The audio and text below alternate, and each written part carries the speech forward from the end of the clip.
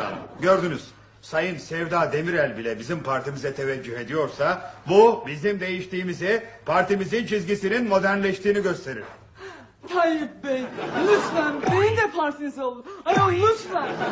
Sevda Demirel Hanım sizi partimize e, alamayız. Çünkü sizi alsak sizin başka taraflarınızı partimize sığdıramayız. Yani siz bizim partimize ekstra large gelirsiniz. E, mücahit oğlum hanımefendiye yolu göster.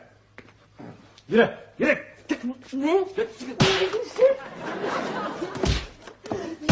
Yürü be. Yürü lan. Yürü.